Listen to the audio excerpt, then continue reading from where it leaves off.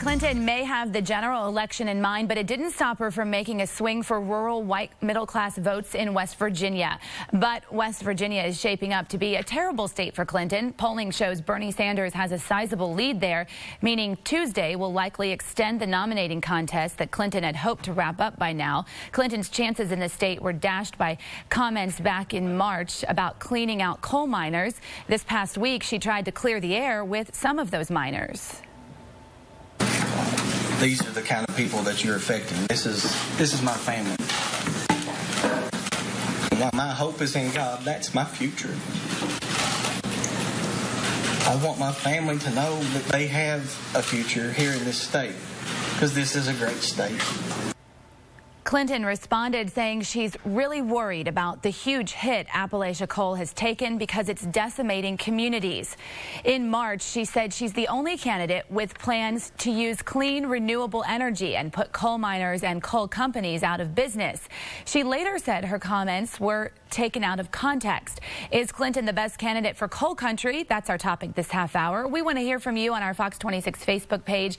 You can also weigh in on Twitter. Use the hashtag Fox26 for life. Joining us live in the newsroom is our panel again, led by our senior legal analyst, Chris Tritico, Democratic media consultant, Mustafa Tameez, and Republican strategist and public policy analyst, Jackie Baly.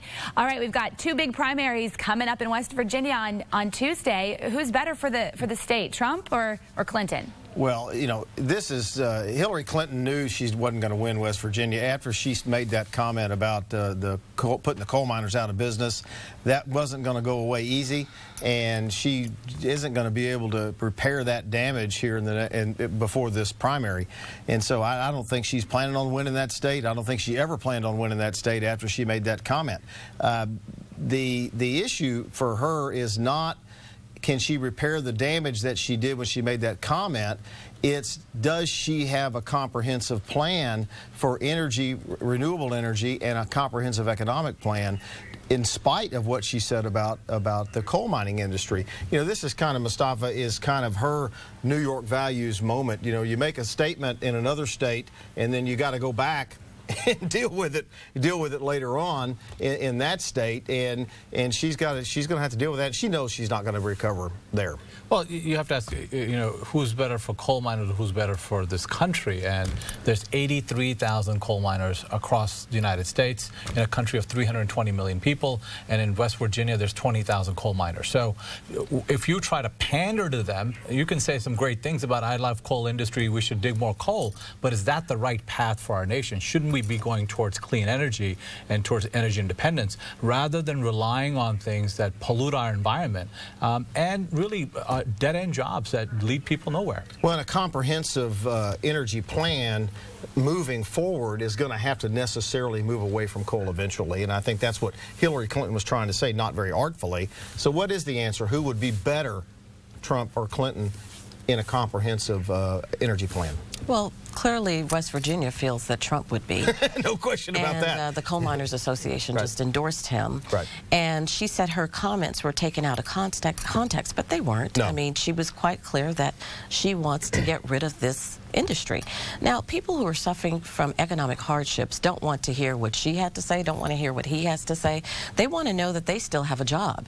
And the fact that someone running for president is the top person in a party and she's saying, I'm going to do away with a certain industry, that really hits home for a lot of people. Mustafa blows off the number saying it's just 83,000 people, but those 83,000 people have families. And uh, she hit home to those people, and of course, they're going to elect um, Bernie Sanders in that primary. And we got to go to Apple, but hasn't that happened throughout our history as we move forward and, and industry changes? Well, I, I mean, I, I, don't understand this. I mean, do we want more people as coal miners, which, you know, you, you destroy your insides, it's cancer-causing stuff. And so I, I, don't, like, don't we want politicians to tell the truth and, and uh, create a path forward that allows our nation to be energy independent, or do we want them to pander to people just to get a vote? All right, let me go to Sally. She's monitoring our social media.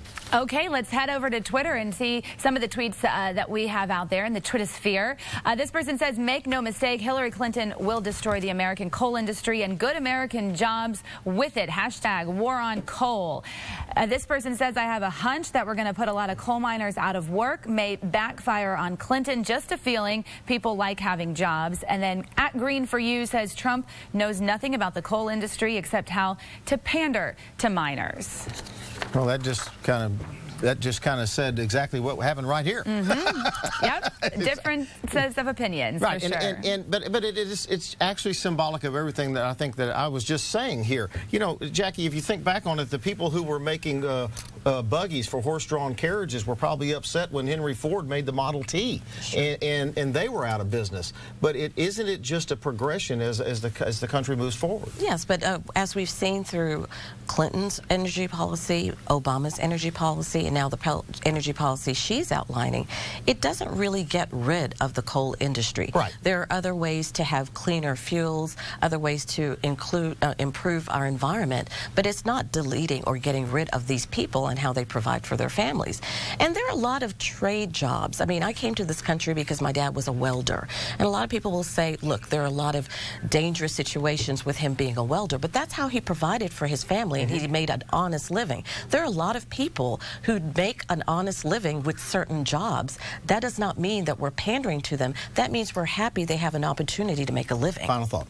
Uh, we've moved, for the last two decades, we've moved away from coal into natural gas, and we're building more natural gases. And, and so there will be a transition point, but I think it's ludicrous to lie to people and tell them that you're going to protect their jobs when we really should be moving to uh, clean, clean, energy. All right. We'll leave it right there. And, uh, yeah, I don't think Hillary Clinton, uh, Sally, has any desire or any idea that she let me try that again. I don't think Hillary Clinton thinks she's going to win that primary at all. Uh, she's looking past West Virginia to mm -hmm. close the deal uh, for the uh, for the nomination. All right. Thanks so much, guys. We're going to talk a little bit more about the GOP coming up at the end of the 7 o'clock hour, so stay tuned for that. Right now, we're going to